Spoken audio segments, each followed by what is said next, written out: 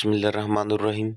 Dear student parents and others रात के मुझे मैसेज पे मैसेज आ रहे हैं कि पीएमडीसी का क्या बना है पीएमसी का क्या बना है। पीएमडीसी वापस आ चुकी है और पीएमसी ख़त्म हो गई है। जी, इस पे मैं आपको ये बता दूँ कि बिल मंजूर हो चुका है। सेनेट में कल की खबरें चल रही हैं, आपने देख भी रही होंगी। मांडी वाला ने जो पेश किया गया, उस पर सेनेट पे फैसला हुआ कि पीएमडीसी को खत ले आए और पीएमसी को ख़त्म कर दें। अक्सरियत की बुनियाद पर पीएमडीसी का बिल मंजूर हो चुका है और पीएमसी ख़त्म हो चुकी है। लेकिन यहाँ एक बात समझने वाली है कि पीएमडीसी कैसे आ रही है और पीएमसी कैसे जाएगी।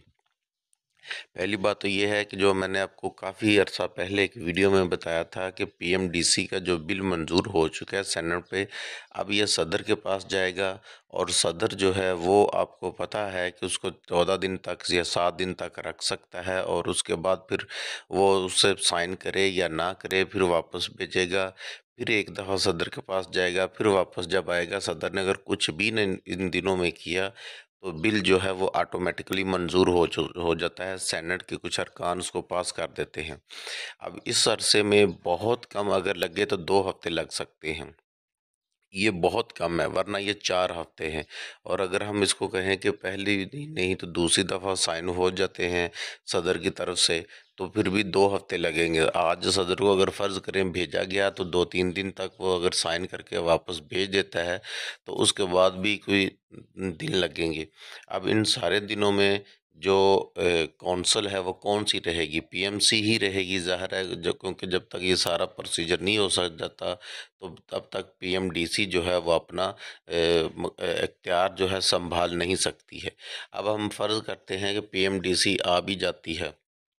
और उसमें बहुत ज़्यादा फ़र्क पड़ेगा। तो पीएमसी में ये क्या होगा एलएलई जो टेस्ट होता है, वो ख़त्म कर दिया जाएगा। पाकिस्तानियों के लिए वो पहले भी नहीं होता।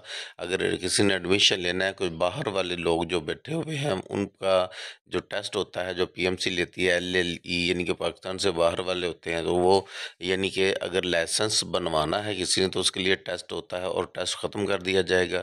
लेकिन कहा जा रहा है कि जो पाकिस्तान से बाहर वाले लोग हैं, जो पीएमसी में आते आते हैं पहले भी आते थे और पीएमसी उनका टेस्ट लेती तो इस दफ़ा भी उनका भी वो टेस्ट हुआ करेगा। लेकिन अब देखें, पीएमडीसी क्या इसके लिए लाहे अमल तैयार करती है, वो बाद में पता चल जाएगा। दूसरी बात यह है कि पीएमडीसी जो आएगी, एक तो वो पहले वाला सिस्टम ले आएगी, जैसे पहले ही नेगेटिव मार्किंग वाला होता था और प्रोविंशियल वाइज होता था, यानी कि पंजाब में यू एच एस है या इसी तरह दूसरे सूबों में जो अपनी एक मेडिकल काउंसिल है, वो टेस्ट लेगी। अब अगर इसको आ भी जाता है तो अभी हम इस पर मुतफ़िका तौर पर या कह लें कि सही तौर पर कुछ भी नहीं कह सकते कि पीएमसी आएगी तो इतने थोड़े से दिनों में वो प्रोविंशियल वाइज टेस्ट ले देगी।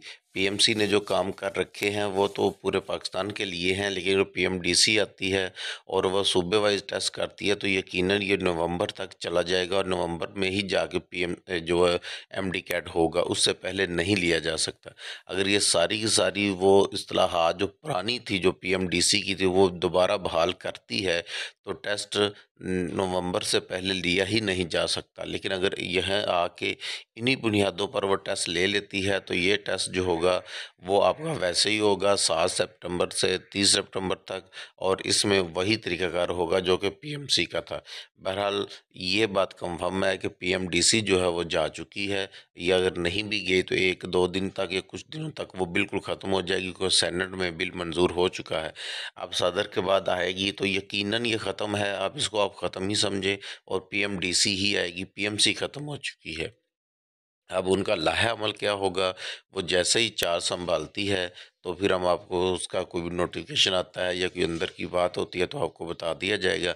इसलिए चैनल को सब्सक्राइब करके रखिएगा, ताकि आने वाली हर खबर आपको बर वक्त पहुँच सके।